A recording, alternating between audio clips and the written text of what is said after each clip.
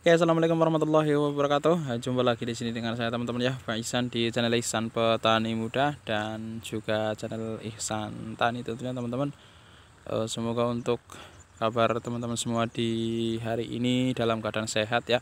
Dan mudah-mudahan selalu diberi kelancaran dalam beraktivitas eh, dalam mencari rezeki tentunya dan mudah-mudahan eh, diberi rezeki yang banyak dan berkah teman-teman. Amin. Uh, oke teman-teman ya di sini Besan sedang berada di lahan Bang Isan. Uh, yang di sini Besan uh, budidaya CMK Tangguh F1 yang sebelumnya sudah di lahan ini sudah dilakukan persiapan. Sedemikian rupa dari olah lahan terus pemberian kapur dolomit terus tahap pemupukan dasar penyemprotan dekomposer penutupan plastik mulsa sampai melubangi plastik mulsa dan kemarin eh, dilakukan pemberian pupuk dasar organik di lubang tanam yang sudah Baisan lakukan. Nah untuk di kesempatan pagi hari ini eh, kesempatan Baisan yaitu penanaman penanaman CMK tangguh F1 ya di lahan ini. Ini lahan 100 ubin teman-teman. Tahu kalau dimeterkan sekitar 1400 meteran masuk kapasitas tanaman eh, sekitar 3800-an nah untuk eh, penanaman kali ini kita ada tiga orang. Dua minggu seperti biasa tentunya. Dan eh, kita lakukan penanaman di pagi hari karena cuacanya juga mendukung. Kemarin dilakukan proses penaburan uh, pupuk dasar pun cuacanya sejuk teman-teman. Tidak terlalu panas dan kemarin-kemarin malah turun hujan setiap hari. Dan mudah-mudahan nanti setelah penanaman ini masih ada turun hujan ya. Nah kebetulan juga irigasi. Kalau untuk yang ini irigasinya mudah sekali teman-teman. Jadi ada beberapa titik di bagian sana satu di sana satu. Jadi uh, kalau penanaman di pagi hari harus ada persediaan air yang seperti ini. Jadi bisa untuk setelah ditanam disiram biar tanamannya tidak mati teman-teman ya atau e, tersengat sengatan matahari. Nah perlu bahasan informasikan juga ini untuk e, jarak tanam. Ini sudah bahasan bahas kemarin pakai 27,5 cm yang beda dengan full ini. Yang ini yang bekas cabe yang ini lahan bekas cabe kemarin ya bahasan olah lahan dan harapan bahasan mudah-mudahan tidak ada kendala.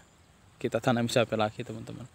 Ya ini jarak tanam tetap e, 55 cm nah perlu saya informasikan juga ini untuk uh, bibitnya. Usianya ini sudah bisa dikatakan sangat-sangat tua sekali. Ini usianya sekitar 40 uh, 5 HSS 45 HSS teman-teman. Nah kebetulan ini Bison paket tray yang isi 200 jadinya figurnya masih seperti ini. Ya. Ini kalau paket tray yang isi 198 uh, maaf sama polybag yang plastik itu ini ketinggian mungkin bisa sudah hampir tinggi sekali teman-teman. Nah ini kebetulan paket yang isi 200 kan tanahnya cuma sedikit sekali jadi e, tidak terlalu tinggi teman-teman. Nah, ya. Dan ini pun dicabut sudah sangat e, mudah sekali teman-teman nih ya nah ini.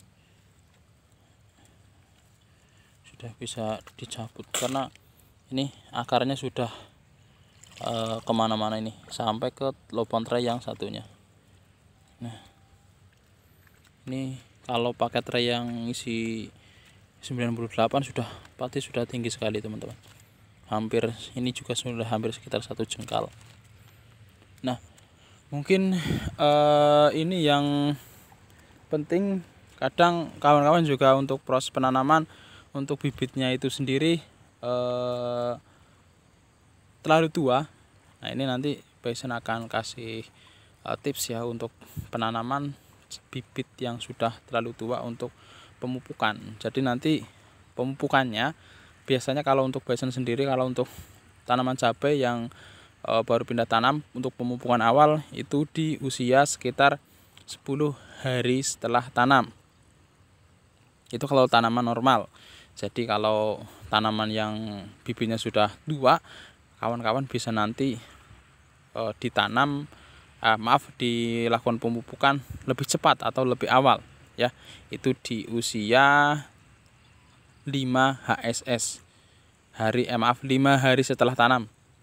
Nah, nanti bisa dilakukan proses pemupukan. Insya Allah nanti kita 5 hari setelah tanam ini kita langsung pupuk kita pacu biar pertumbuhannya e, bisa normal teman-teman ya karena ini waktunya sudah sebetulnya sudah perlu sekali untuk melakukan e, pemupukan atau pupuk susulan.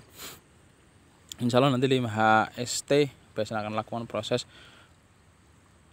pemupukan pertama pada tanaman CMK ya nah ini e, kebetulan e, untuk di lahan ini pastinya e, ini Baisan belum belum apa ya belum hitung secara detail masuk berapa cuman biasanya sekitar 3800 nanti Baisan hitung lagi teman-teman. Untuk kepastian masuk per 100 ubin ini masuk berapa tanaman. Ya. Dan alhamdulillah cuacanya uh, mendukung. Mudah-mudahan nanti tidak terlalu panas untuk uh, di daerah Baisan Nah untuk penanaman mungkin kawan-kawan sudah terbiasa ya sudah tahu caranya tekniknya. Kalau untuk penanaman cabai yang kalau sering Baisan lakukan itu uh, dari pangkal batang ini sekitar 2 cm teman-teman. Ya misalnya seperti ini. Nah kurang lebih sekitar 2 cm segini itu baru ditimbun bertujuan untuk nanti ketika dilakukan penyiraman ataupun di musim penghujan itu tidak mudah keluar akarnya. Ini kalau sekitar 2 cm aman teman-teman. Disiram pun nanti tidak akan keluar akarnya. Malah nanti dari pangkal batang ini biasanya keluar akar malah lebih bagus. Tapi kalau penanamannya seperti ini maaf kita nah, ngepres sekali. Nah, seperti ini misal nanti disiram selang beberapa minggu ini pasti keluar akarnya. Nah biasanya menghambat yang namanya pertumbuhannya agak terganggu teman-teman. Kurang kurang bagus intinya. Nah paling bagus sekitar 2 cm ditanam dari uh, media tanam ya. Nah, seperti ini. Nah, kalau dilakukan di pagi hari itu harus dilakukan penyiraman segera. Nah seperti ini. Kebetulan irigasi di daerah Besen mudah teman-teman. Ya seperti ini. Nah nanti untuk waktu penanaman waktu penanaman itu e, kalau pagi kondisional sih sebetulnya teman-teman. Kalau jam 9 e, eh, itu masih agak sejuk lanjutkan saja. Tapi kalau jam 9 komposisinya sudah panas mending di stop saja teman-teman biar e, apa namanya tanamannya tidak terlalu stres setelah pindah tanam.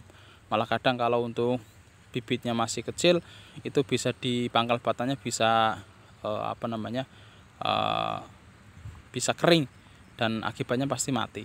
Biasanya seperti itu. Apalagi kalau plastik mulsa yang baru seperti ini jadi rawan sekali. Intinya kalau pagi ya kondisional. Kalau sudah kelihatan panas kalau biasanya sih sekitar jam 9 kalau sudah panas stop untuk proses penanaman. Ya memang paling bagus dilakukan di pagi hari. Tapi kalau kadang eh, maaf di sore hari. Itu kan menuju sejuk tidak panas itu paling bagus. Tapi kalau di pagi hari aktivitas bisnya di pagi hari pagi hari saja tidak apa-apa. Yang penting posisi sudah panas stop. Ini seperti itu saja teman-teman. Oke mungkin itu ya. Sekitar untuk dokumentasi kalau untuk proses e, penanaman pasti kawan-kawan sudah paham lah caranya terus tekniknya untuk cara tanam untuk e, apa pun itu cuman ya ini sekitar untuk barisan e, dokumentasi semua karena sudah dari awal sudah dipublikasikan untuk langkah-langkah selanjutnya pasti Basan akan publikasikan semua. Oke mungkin itu yang bisa Basan sampaikan. Tentunya jangan lupa supportnya teman-teman dengan tekan tombol like subscribe share juga ke media sosial teman-teman semua karena nanti channel petani muda semakin berkembang dan tentunya bisa memberikan edukasi-edukasi di dunia pertanian teman-teman. Bagi yang sudah subscribe pesan doakan selalu mudah-mudahan selalu diberi kelancaran dalam beraktivitas dalam mencari rezeki tentunya dan mudah-mudahan diberi rezeki yang banyak dan berkah teman-teman. Amin. Oke jadi mungkin cukup sekian dari Besan Salam petani Indonesia. Assalamualaikum warahmatullahi wabarakatuh